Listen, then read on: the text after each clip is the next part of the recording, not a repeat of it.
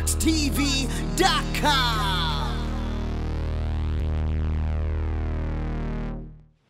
So it's your boy Nate Fox out here again with RoX-TV. We're out here in South Bend, Indiana for a show from a boy Kung Fu Vampire out here. We're out here doing big things, sold out show, small venue. It's where it's at. If you're not there tonight, you're missing out. But uh man, you just dropped an album, bro. Tell me a little bit about that. Cummed on. Everybody is getting cummed on. Lately, it's just getting sprayed all over the U.S. right now on this tour. Uh, this is my favorite album, co-produced by Chris Paxton. Lots of great producers, lots of great features. Come Dawn is available right now, and it just charted on Billboard and iTunes at number 18. So we're super proud of the record. Man, that shit is hot. That shit is hot. Uh, hot off the presses, man. And uh it we were just playing it in the car, man. That shit bumps. You know what I'm saying? Like I, I feel like so let's say this blows up and tomorrow you got 10 million views on uh on you know your stuff right what are you gonna do next man I'm going to Disneyland.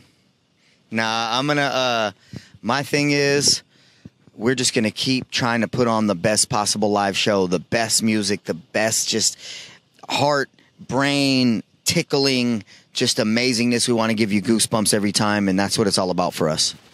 So I feel like this uh this album is really like the culmination of your career, you know, like everything is coming together, it's all falling into place and you can see it in the numbers, man, just just alone right there. So uh if there's a I know you've done you've done features with the who's who of people in the in the industry, but uh is there one person that's gone, that's passed away that you wish you could have done a song with? Man, Prince, David Bowie, um, those are two that I really think about that I'm like, damn, you know, that would have been amazing. And then Metallica, which is, you know, kind of out of my reach, but you never know what the future holds. But yeah, as far as people who are gone, David Bowie and Prince. That's awesome, man. That's awesome. So uh yeah, we're out here South Bend. You know, it's uh Indiana's a cool stop, man, and it's sweet to see a, a small venue like this because they, they it's always a little hyper. It's a little always more exclusive when you can't get a ticket and you want one. So, uh where's another place? What's another place that you are excited for the next show that you're about to do, especially? Um, I'm especially excited for Boston because we've never played there before, and we've toured the whole country. This is like the 16th or 17th tour in 10 years. Like we just started touring nine or 10 years ago, and we do about one or two tours a year. Basically, on average, one and a half tours a year. Sometimes we do two, sometimes we do one. But um, Boston, I'm excited about because we've always had fans there, and all of our Worcester fans are going to go there, so we're excited about that. I like the Carolinas, and of course, we're ending in Las Vegas, and I'm taking a little extended vacation while I'm out there, so that's going to be pretty exciting for me. Hell yeah, hell yeah. So uh it's it's it's it's never a surprise that the only time I ever see you, man, it's at night. You know what I mean? You're coming out at night, man. So if you had to pick a blood type, what would be the best blood type? I want the blood type of the person eating the best Kansas City, Missouri barbecue. Oh, so so KC Mo. So is it Gates? Is it Gates? Is Gates the best spot? Oh shit. Where's your I, favorite? I don't like I don't like Gates as much as a couple other spots. Now I'm not even from Kansas City, Missouri, and I know all the barbecue spots.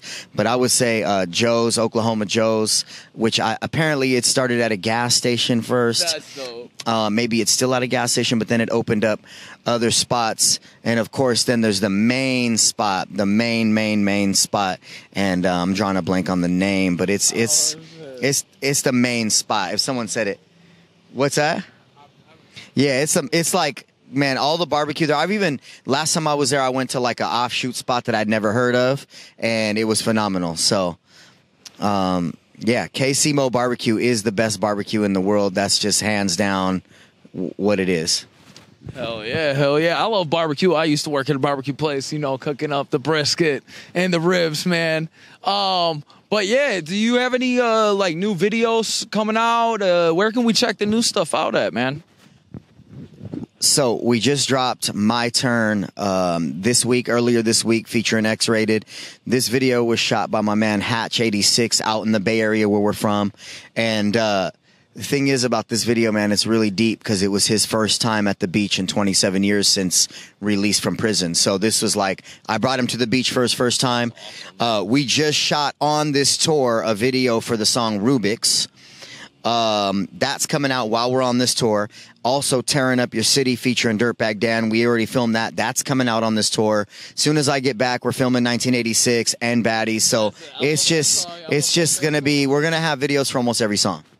That's what's up, man. And uh, so X-Raided. Speaking of X-Raided, you know my man got out of prison for having he was locked up for a long time, and now we got him back on the streets. You were one of the first artists to really be able to work with him, man. How was that?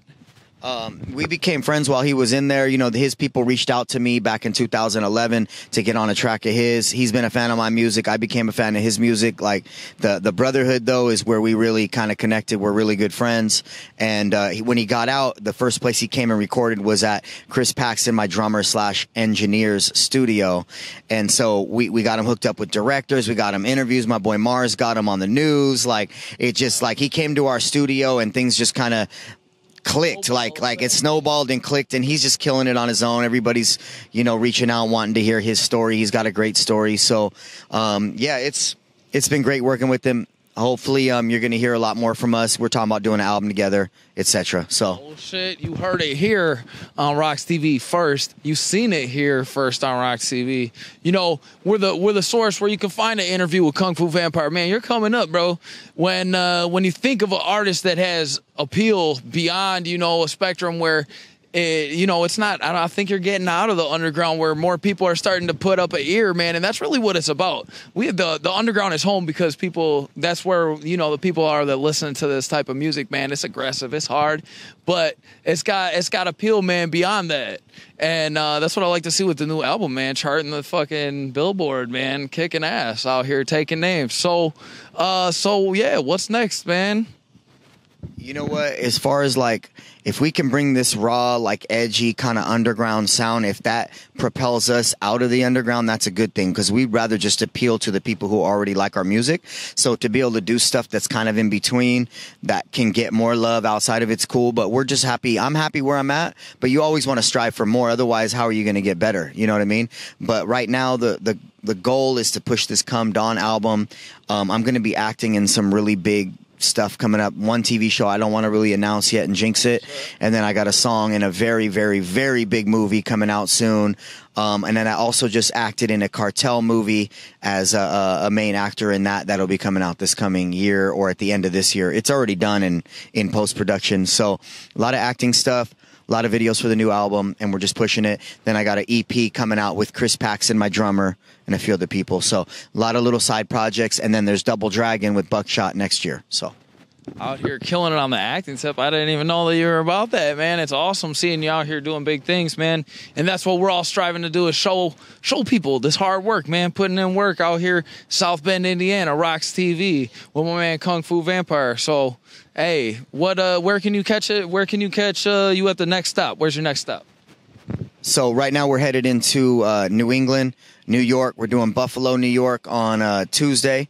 We got uh, Saratoga Springs. We're doing Rochester, New York. Doing New Hampshire, Boston. You know the East Coast, the Carolinas, Harrisburg. So just hit kungfuvampire.com. We have a tour section there where you can uh, get all the dates, and then also. Um, my Instagram, man. Follow at Kung Fu Vampire on Instagram. Highly active. We're showing you guys a lot of the behind the scenes, funny shit as much as possible.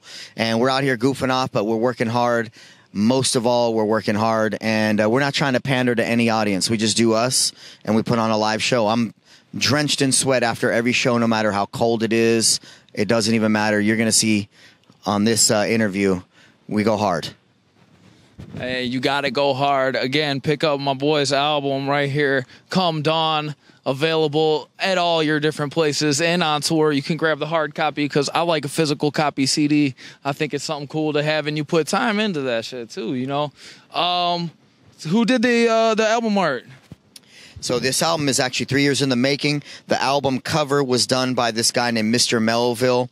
He's in um, Russia, and um, yeah. So then the rest of it was done by my boy Dickles, and then uh, my homie McNasty out in Arizona did the the art underneath the tray when you lift the CD. So a lot of people came together on this, and then I oversee every single piece of everything Kung Fu Vampire. So Hell yeah, man. That's because he's a true artist out here.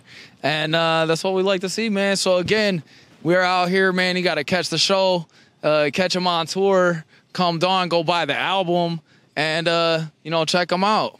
Say someone has never heard of Kung Fu Vampire before and you have one chance to make them, what song would you play for them? Uh, if you if you haven't heard of us, I'd probably at this point play a multitude of songs off Come Dawn. I'd probably have them listen to Trapped in Hell, Madonna, 1986, Baddies. Those are the songs I like that I think people would just undeniably like. You know what I mean? So, yeah, if you guys get a chance, bump this Come Dawn album, Spotify. Go get it for free on Spotify, um, Apple Music, Pandora, whatever, Google. Doesn't even matter. If you want a hard copy of the CD, it's it's it literally a piece of art. Like uh, nothing sounds better than the CD.